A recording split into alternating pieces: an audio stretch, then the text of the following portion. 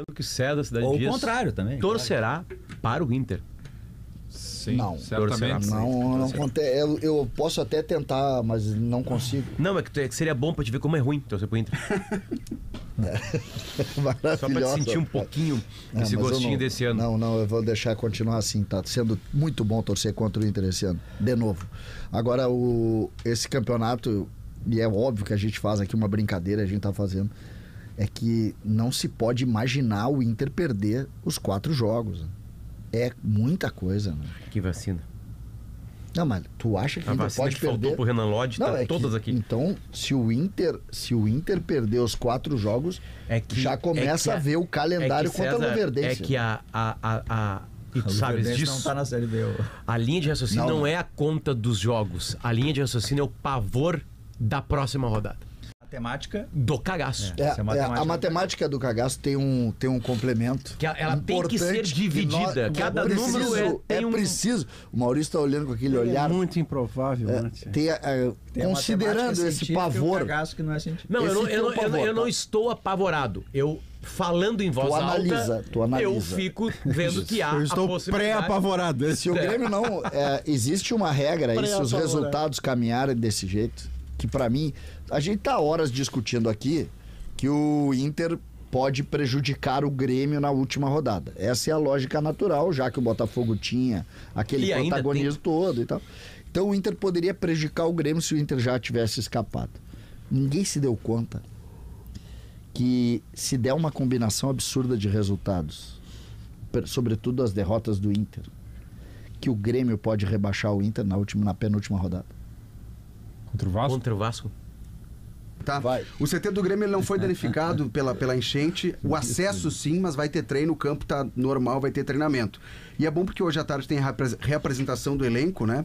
Eh, a principal novidade é o PP, que vai participar do trabalho com bola, com, com todo mundo. E tem, se tem a expectativa de que ele, não sentindo dor ao longo da semana, possa aparecer contra o Atlético Mineiro, se não como titular, mas relacionado para a viagem a Belo Horizonte. Então, à tarde, o Jason Lisboa, é quem vai acompanhar essa atividade, vai trazer as informações. Sobre Soares, é, o diretor de futebol do Inter Miami, Chris Henderson, concedeu uma entrevista coletiva lá para fazer o balanço do clube e projetar 2024. A primeira pergunta da coletiva, feita por uma jornalista americana, é sobre o Soares. Perguntando, e aí, vem, não vem? Como é que tá a situação? A resposta dele que eu vou ler está publicada em GZH.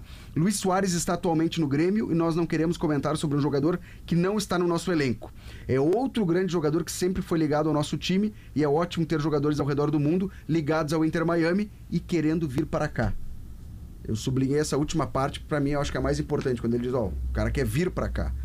Mas ele não confirma Isso ainda que é um acerto. ele nunca falou que quer ir pra Miami, mas ele já falou que vai ser do Grêmio. É.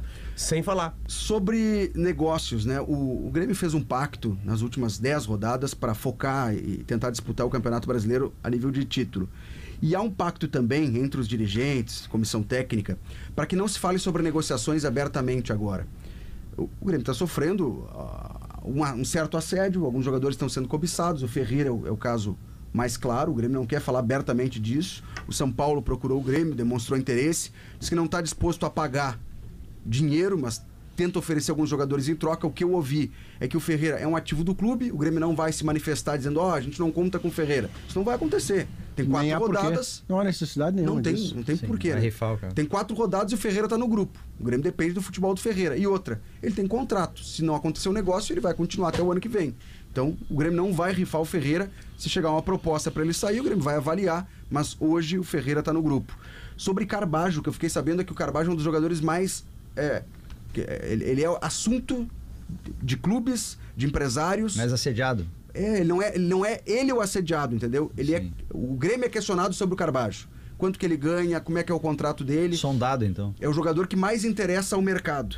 Uhum. Mas nesse momento nenhuma proposta foi realizada. Felipe Carbajo continua no Grêmio. O melhor uruguaia. Felipe, ainda não apareceu no Grêmio. Verdade. Ele teve lesões em momentos-chave. Eu vou lembrar aqui, mesmo que você desconte ser o Novo Hamburgo, no Galchão, Mas aquele grande meio-campo que o Grêmio fez, que tinha o Vini, inclusive, mais Carbajo, PP, Cristaldo, aquela onda de meio-campo, como o Pedro chamava, ali foi um momento muito intenso do Carbajo acertando o passe. Tem gol em Grenal. Gol em Mas Grenal, chama depois atenção, ele se Maurício. machuca e, Mas- e nunca mais volta Mas- nesse padrão. Mas chama atenção, e eu concordo contigo com relação ao o melhor Carbajo, a gente não viu. Só que chama atenção que ele é o mais valorizado isso. dos jogadores É do que ele Grêmio. vem pro Grêmio como o melhor jogador do campeonato uruguaio, em que o Nacional foi campeão, à frente do Soares. Então essa análise, Felipe, é mais pelo passado dele do que propriamente pela temporada. Pela idade, potencial né, na seleção uruguaia, né, né? César? Ele Agora, anotem aí, Mas, tá? mas ele não jogou muito na seleção uruguaia. ele- né? Não, mas ele, fica na ele tá- reserva, Ele né? tá sendo convocado pelo Bielsa, isso dá um upgrade, né? Agora anotem aí, se vier proposta, vai. Ah, eu também acho. Se vier proposta, vai.